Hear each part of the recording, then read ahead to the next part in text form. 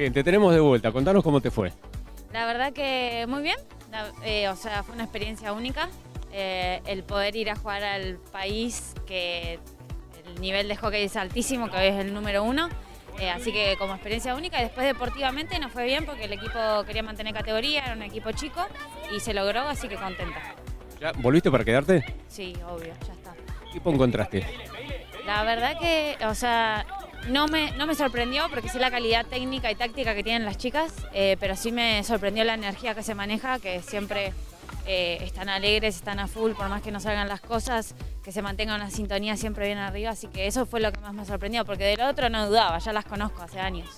¿Cómo, cómo sentiste el cambio de entrenador? Vos venías de un, de un proceso con el gato y ahora un nuevo entrenador para vos que es Uga. Viejo para Sanfer porque ya había estado. Sí, sí, sí, muchas, va, varias ya lo tuvieron, eh, pero la verdad nada, suma este equipo, el equipo se- es lo importante, ya aprendimos un montón de cosas con el proceso anterior y con este proceso estamos aprendiendo otras, pero sin dejar de lado aquellas que aprendimos, que creo que eh, nos hizo el Sanfer que salió campeón, el Sanfer que llegó de vuelta a otra semi, a otra final, eh, y este año, bueno, es- ese es el camino, seguir creciendo de, eh, todas juntas como equipo.